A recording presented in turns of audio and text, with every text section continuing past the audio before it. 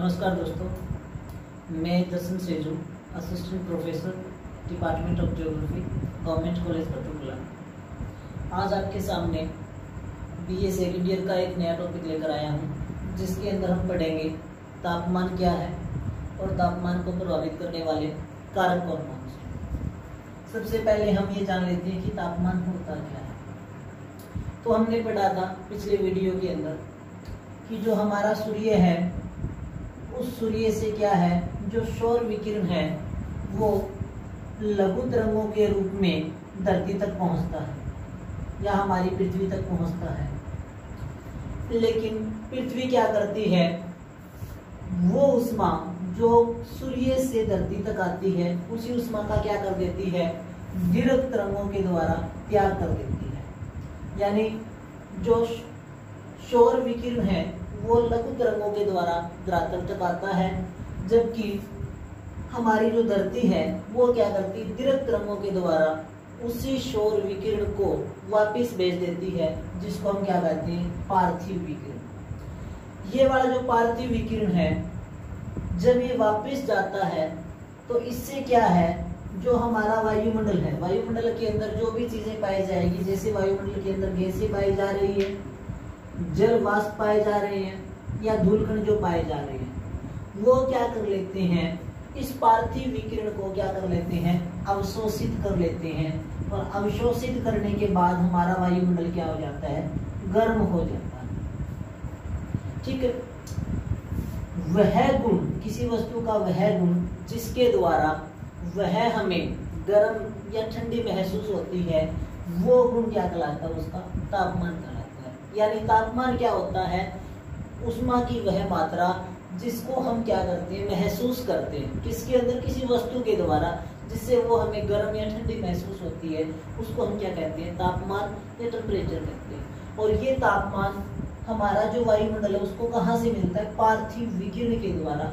जब धरती क्या करती है, जो शौरिक विकिरण जो धरती तक पहुँचता है, उसका त्याग कर देती है तो वायुमंडल क्या कर लेता है? उस विकिरण को अवशोषित कर लेता है। जिससे हमारा जो वायुमंडल है वो गर्म हो जाता है, यानी उसका तापमान क्या हो जाता है? बढ़ जाता है। ये था तापमान। यानी तापमान होता क्या अब ये है कि तापमान का मापन कहाँ से होता है? तो तापमान का मापन क्या है? लगभग जो हमारा धरातल है, उससे एक मीटर की ऊंचाई पर होता है। तापमान का मापन क्या होता है? धरातल से लगभग एक मीटर की ऊंचाई से क्या होता है? तापमान का मापन होता है। और होता किस इकाई के अंदर है? तो डिग्री सेल्सियस या सेंटीग्रेड जिसको हम बोलते हैं, या फॉरेन हाइट के अंदर क्या तापमान का मापन किया जाता है। उसके बाद है तापमान को प्रभावित करने वाले कारक कौन कौन से होते हैं? तो पहला जो मैंने कारक आपके सामने लिखा है, जिसके अंदर है वो मध्य रेखा से दूरी। हम पहले भी पढ़ चुके हैं कि जो हमारी धरती है, उसको एक काल्पनिक रेखा दो भागों के अंदर बांटती है, जिसको मध्य रेखा कहा जाता है। वो मध्य रेखा है इसके ऊपर साल में दो बार सूर्य की किरणें बिल्कुल सीधी पड़ती है। साल में दो बार 21 मार्च और 23 सितंबर। ये दो दिन ऐसे होते हैं साल में जब क्या है, सूर्य की किरणें सीधी पड़ती है। इसके अलावा 21 जून को सूर्य की किरणें कर्क रेखा पर सीधी पड़ती है। और 22 दिसंबर को सूर्य की किरणें हैं, वो मकर रेखा की ऊपर पड़ती है। कहने का मतलब क्या है कि साल में दो बार सूर्य की किरणें क्या है? बिल्कुल सीधी पड़ती है कहाँ? मध्य रेखा के ऊपर। जहाँ सूर्य की किरणें सीधी पड़ेगी, हम ये कंसेप्ट पहले भी पढ़ चुके हैं कि जब सूर्य की किरणें किसी स्थान के ऊपर सीधी पड़ती है तो उनको क्या करना पड़ेगा? एक तो दूरी कम तय करनी पड़ेगी। दूसरा क्या है? जो प्रति इकाई क्षेत्र है, वो भी क्या हो जाएगा? कम हो जाएगा। इसलिए क्या होगी? सूर्य तप की मात्रा ज़्यादा प्राप्त होगी। इसलिए यहाँ भूमध्य रेखा के ऊपर क्या है? सूर्य तप सबसे ज़्यादा प्राप्त होता है और सूर्य तप सबसे ज़्यादा प्राप्त होगा, इसलिए यहाँ तापमान भी क्या होगा? ज़्यादा होगा।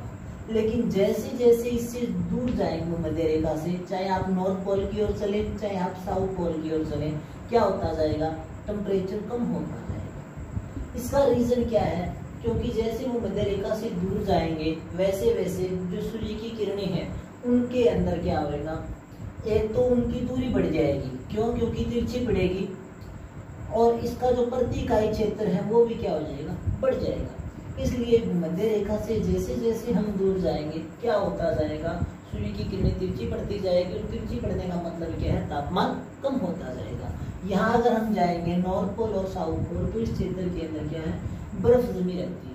क्यों? क्योंकि यहाँ सूर्य की किरणें बहुत ज़्यादा तिरछी पड़ती है। दूसरा जो कारक मैंने आपके सामने लिखा है, इसके अंदर है समुद्र तल से ऊंचाई। बड़ा इंपॉर्टेंट पॉइंट है ये।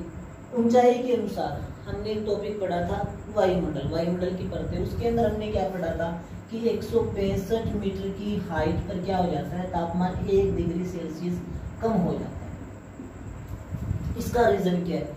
अब बहुत सारे बच्चे यहाँ ये क्वेश्चन पुट करते हैं कि ऊंचाई के अनुसार तो तापमान बढ़ना चाहिए? क्यों बढ़ना चाहिए? क्योंकि जैसे जैसे ऊपर जाएँगे, सूर्य के निकट जा रहे हैं तो तापमान बढ़ना चाहिए। तो यहाँ रीजन क्या है? ऊंचाई के साथ तापमान कम क्यों होता है? जैसे मैंने आपको पहले बताया था टेम्परेचर की जो डेफिनेशन दी थी, उसके अंदर ये बताया था कि जो आपके जलवाष्प हैं, जो दोलकण है, और जो आपकी वायु है, ये क्या करते हैं? जो पार्थिव विकर्ण है, उसको क्या करते हैं? शोषित करते हैं। तो जैसे जैसे ऊपर जाएँगे वैसे वैसे क्या होता जाएगा? जल वाष्प की मात्रा भी कम होती जाएगी दूरगुणों की मात्रा भी कम होती जाएगी और वायु भी क्या होती जाएगी? विरल होती जाएगी। कहने का मतलब जैसे जैसे ऊपर जाएँगे वैसे वैसे जलवाष्प दूरकण और वायु इनकी मात्रा क्या हो जाएगी? कम हो जाएगी। मात्रा कम होने का मतलब क्या है? जो पार्थिव विकिरण ऊपर जा रहा था, उसको अवशोषित करने वाला कुछ वहाँ है ही नहीं। वहाँ है नहीं तो वहाँ का तापमान नहीं बढ़ेगा। यानी वायु की निचली परतों के अंदर क्या जलवाष्प गुणगण और वायु की मात्रा ज़्यादा पाई जाती है? इसलिए जो निचली परतें हैं, उनके अंदर क्या है? तापमान ज़्यादा पाया जाता है। लेकिन जैसे जैसे ऊपर जाएँगे, जलवाष्प गुणगण और वायु इनकी मात्रा कम होती जाएगी। इसीलिए हाइट के अनुसार क्या है? तापमान कम होता जाता है और एक सौ पैंसठ मीटर की हाइट पर तापमान क्या हो जाता है? एक डिग्री सेल्सियस कम हो जाता है। तो समुद्र तल से जैसे जैसे हम ऊपर जाते हैं, वैसे वैसे क्या होता जाएगा? टेम्परेचर कम होता जाएगा। इसका एग्ज़ाम्पल ये है कि समुद्री जो क्षेत्र, समुद्र जो तल के आसपास का जो क्षेत्र है, मैदानी भाग है, वहाँ तापमान हमेशा ज़्यादा पाया जाता है। जैसे अम्बाड़ा है अम्बाड़ा का तापमान आप देखेंगे, बहुत ज़्यादा है। किसके मुकाबले? शिमला के मुकाबले। वैसे कोई ज़्यादा फ़र्क नहीं है शिमला और अम्बाड़ा के अंदर, लेकिन फ़र्क क्या है कि शिमला है, ये समुद्र तल से ज़्यादा ऊंचाई पर स्थित है। लेकिन जो अम्बाला है, वो मैदानी भाग के अंदर स्थित है। इसलिए अम्बाला का तापमान ज़्यादा मिलेगा और जो आपका शिमला है, इसका तापमान क्या मिलेगा? कम मिलेगा। यानी जैसे जैसे ऊपर जाएँगे पर्वत जो शिखर है, वहाँ क्या है? बर्फ़ जमी रहती है। उसके पीछे ये रीज़न है कि समुद्र तल से जैसे जैसे ऊपर की ओर जाएँगे, क्या होता जाएगा? जलवाष्प दुर्गुण और वायु की जो सघनता है, वो कम हो जाएगी। कम होने का मतलब क्या है? वहाँ तापमान को अवशोषित करने वाला कोई कोई वस्तु वहाँ नहीं होगी, इसलिए वहाँ क्या होगा तापमान कम होगा। तीसरा है समुद्र तट से दूरी। आपने देखा होगा कि जो जल है, वो देर से गर्म होता है और देर से क्या होता है? ठंडा होता है। स्थलीय भाग है, वो जल्दी क्या हो जाता है? गर्म हो जाता है और जल्दी क्या हो जाता है? ठंडा हो जाता है। रीजन क्या है कि जल के अंदर क्या है? सूर्य की किरणें अधिक गहराई तक प्रवेश कर सकती है, लेकिन स्थलीय भाग में ज़्यादा गहराई तक प्रवेश नहीं इसलिए जल की जो विशिष्ट उष्मा है, वो भी क्या होती है? ज़्यादा होती है, लेकिन स्तरीय भाग के ऐसा नहीं होता। यानी जल देर से गर्म होता है और देर से क्या होता है? ठंडा होता है। लेकिन स्तरीय भाग क्या होता है? देर से जल्दी गर्म और जल्दी क्या हो जाता है? ठंडा हो जाता है। इसलिए समुद्र तट से जैसे ही हम दूर जाएँगे, वहाँ तापमान के अंदर क्या होगा? परिवर्तन ज़्यादा होगा। फॉर एग्ज़ाम्पल अगर हम राजस्थान का एग्ज़ाम्पल लें, राजस्थान के अंदर क्या होगा? दिन के अंदर बहुत ज़्यादा गर्मी पड़ेगी, लेकिन रात के टाइम क्या होगा? बहुत ज़्यादा सर्दी पड़ेगी। यानी तापमान के अंदर बहुत ज़्यादा परिवर्तन पाया जाता है। कहाँ? राजस्थान के अंदर। क्यों? क्योंकि वो भाग क्या है? स्थलीय भाग है, और वो समुद्र तट से क्या है? ज़्यादा दूर लेकिन अगर हम एग्ज़ाम्पल लें, चेन्नई का बॉम्बे का अब इन क्षेत्रों के अंदर क्या है? तापमान के अंदर समानता पाई जाती है। न ज़्यादा गर्मी मिलेगी और न ही ज़्यादा सर्दी मिलेगी। तापमान क्या रहेगा? सम रहेगा। तो जैसे जैसे समुद्र तट से दूर जाएँगे वैसे वैसे क्या होता जाएगा? या तो तापमान बहुत ज़्यादा मिलेगा या बहुत कम मिलेगा। लेकिन समुद्र तट के आसपास का जो क्षेत्र है, वहाँ क्या है? नॉर्मल टेम्परेचर मिलेगा। न ज़्यादा और न ही कम। तीस चौथा जो पॉइंट दे रखा है, समुद्री धाराएँ। अब समुद्री जो धाराएँ हैं समुद्री धाराएँ दो प्रकार की होती है। एक तो हो सकती है गर्म जल की धारा और एक हो सकती है ठंडे जल की धारा। अब होता क्या है कि गर्म जल की धारा जिस क्षेत्र के अंदर जाएगी, वहाँ क्या कर देती है? तापमान को बढ़ा देती है। और ठंडे जल की धारा जिस क्षेत्र के अंदर जाएगी, वहाँ वो तापमान को क्या कर देती है? घटा देती है। यानी जिस क्षेत्र के अंदर गर्म जल की धारा बह रही है, वहाँ तापमान ज़्यादा मिलेगा। इसके विपरीत जिस क्षेत्र के अंदर ठंडे जल की धारा बह रही है, वहाँ तापमान क्या होगा? कम मिलेगा। एग्ज़ाम्पल जैसे आपने पढ़ा होगा गल्फ स्ट्रीम की धारा। गल्फ स्ट्रीम की धारा। ये वाली जो धारा है। यूरोप का जो पश्चिमी तट है, वहाँ ये धारा बहती है। कौन सी? गल्फ स्ट्रीम की धारा। अगर इस धारा के बहने के कारण, अगर ये धारा नहीं बहे, ये है गर्म जल की धारा। ये गर्म जल की धारा क्या करती है? जो यूरोप यूरोप का कौन सा तट? पश्चिमी उस तट का तापमान क्या कर देती है? बढ़ा देती है। क्यों? क्योंकि ये क्या है? गर्म जल की धारा है। इसके विपरीत जो आपका कनेडा है, उसके तट के ऊपर, उसका जो पूर्वी तट है, वहाँ एक धारा बहती है, लेब्रोडोर की धारा। लेब्रोडोर की जो धारा है, वो क्या है? ठंडे जल की धारा है। ये क्या कर देती है?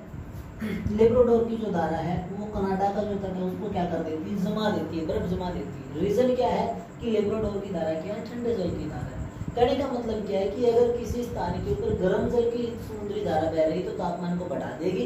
इसके विपरीत अगर ठंडे जल की धारा है तो वो क्या कर देती है? तापमान को घटा देती है। जैसे, एक एग्ज़ाम्पल अगर आपको और दें तो जो भारत का पूर्वी तट है, ये वाला जो तट है भारत का पूर्वी तट, इस तट के ऊपर क्या है?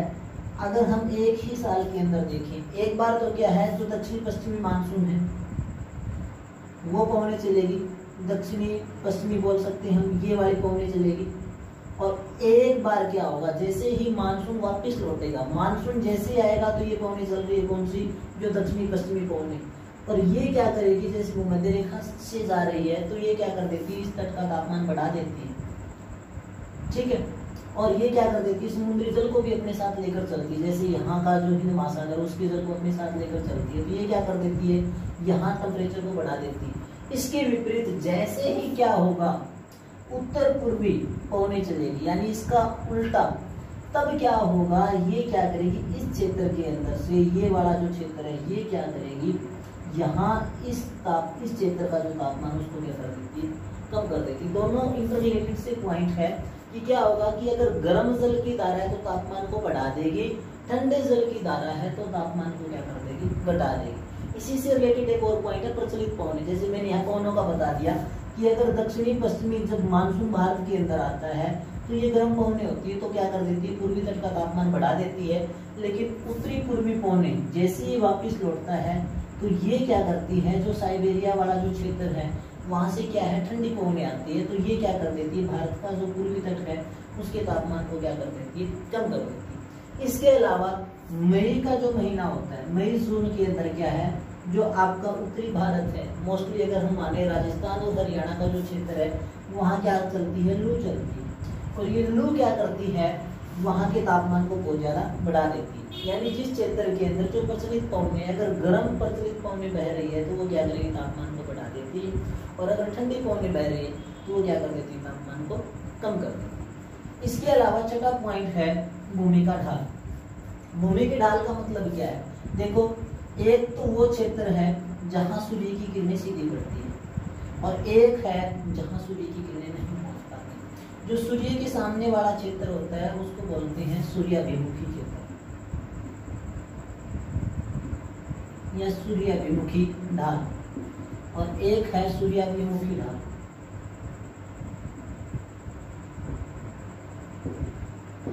अगर भूमि का ढाल सूर्य के बिल्कुल सामने है, जिसको हम क्या बोलेंगे? सूर्य अभिमुखी ढाल बोलेंगे। तो वहाँ तापमान ज़्यादा प्राप्त होगा, क्यों? क्योंकि यहाँ सूर्य की किरणें पड़ेगी। लेकिन इसका जो विपरीत जो भाग है, जिसको हम क्या बोलते हैं? सूर्य विमुखी ढाल बोलते हैं तो यहाँ क्या होगा? सूर्य की किरणें नहीं पड़ पाएगी तो इस क्षेत्र के अंदर यहाँ का तापमान कम होगा। कहने का मतलब क्या है कि जो उत्तरी गोलार्ध है, उत्तरी गोलार्ध के अंदर जो भी पर्वत पाए जा रहे हैं, जैसे एग्ज़ाम्पल हम ले लें हिमालय का ही तो हिमालय का जो दक्षिणी ढाल है, वहाँ सूर्य की किरणें पड़ती है। तो सूर्य की किरणें जैसे ही पड़ेगी, जिसको सूर्य अभिमुखी ढाल हमने बोला है, वहाँ तापमान ज़्यादा होगा। लेकिन चाइना की साइड क्या है, इसका सूर्य अभिमुखी ढाल है वहाँ तापमान क्या होगा? कम होगा क्यों? क्योंकि वहाँ सूर्य की किरणें नहीं पड़ पाएगी। इसके आगे है भूतल का स्वभाव। भूतल के स्वभाव का मतलब क्या है कि धरातल किस प्रकार का है? कहने का मतलब अगर धरातल के ऊपर अगर वनस्पति पाई जा रही है, या क्या है? बर्फीला क्षेत्र है, या ऐसे बोल सकते हैं पथरीला क्षेत्र है। तो ये क्षेत्र क्या करते हैं? ये सारी चीज़ें क्या करती है? जो सूर्य तप आता है उसका क्या कर देते हैं, परावर्तन कर देते परावर्तन करने का मतलब क्या है? ज़्यादा अवशोषित नहीं कर पाए इसलिए अगर किसी क्षेत्र के अंदर वनस्पति ज़्यादा पा रही है, बर्फ़ ज़्यादा पा रही है, या द्रातल क्या पथरीला है तो वहाँ से सूर्य तप का क्या हो जाता है, परावर्तन हो जाता है। परावर्तन होने का मतलब क्या है? तापमान वहाँ का कम होता है। इसके विपरीत, अगर वहाँ क्या है? गहरी काली मिट्टी पाई जा रही है। मान लो काली मिट्टी का ही कोई क्षेत्र है तो काली मिट्टी क्या करेगी? ये जो सूर्य तक जहाँ आ रहा था धरातल के ऊपर, उसको क्या कर लेती है? अवशोषित कर लेती है। अवशोषित करने का मतलब क्या है? तापमान क्या होगा? ज़्यादा होगा। यानी अगर भूमि कैसी है, वनस्पति वाली है, बर्फीला क्षेत्र है या पथरीला क्षेत्र है तो वहाँ से क्या होगा? सूर्य तक का परावर्तन होगा। और परावर्तन होने का मतलब क्या? है तापमान कम हो जाएगा। लेकिन वहाँ अगर ऐसी मिट्टी पाई जा रही है, जो क्या कर रही है? सूर्य तक को अवशोषित कर रही है तो वहाँ तापमान क्या हो जाएगा? ज़्यादा हो जाएगा। इसके अलावा लास्ट जो पॉइंट आपका पॉइंट नंबर एट जिसके अंदर मैंने लिखा है, वायुमंडल की पारदर्शिता। इसके अंदर जो मेन रोल रहता है, वो रहता है मेघ का। अगर किसी स्थान के ऊपर बादल ज़्यादा पाए जा रहे हैं, बादल ज़्यादा पाए जा रहे हैं, इसका मतलब क्या है कि वो सूर्य तक को धरातल तक पहुँचने ही नहीं देंगे। सूर्य तक को धरातल तक नहीं पहुँचने देंगे, इसका मतलब उस स्थान के ऊपर क्या होगा? तापमान कम प्राप्त इसके अलावा बादलों के साथ क्या है? आर्द्रता, या वर्षण हम बोल सकते हैं। आर्द्रता की मात्रा ज़्यादा है। आर्द्रता की मात्रा ज़्यादा है तो भी क्या होगा? तापमान कम होगा। इसके पीछे रीजन क्या है? कि जो जल वाष्प हैं, वो क्या कर लेते हैं? सूर्य की जो किरणें हैं, उनको क्या कर लेते हैं? अवशोषित कर लेते हैं और जो तापमान उसको क्या कर देते हैं? कम कर देते हैं। तो अगर वायुमंडल पारदर्शी है तो तापमान ज़्यादा प्राप्त होगा। लेकिन अगर वायुमंडल पारदर्शी नहीं है, यानी बादल छाए हैं, वर्षा हो रही है तो क्या होगा तापमान कम प्राप्त होगा? क्यों? क्योंकि वो सूर्य को वहाँ तक आने नहीं देंगे। तो ये आज का टॉपिक था, जिसके अंदर हमने पढ़ा है कि तापमान होता क्या और तापमान को प्रभावित करने वाले कारक कौन कौन से धन्यवाद।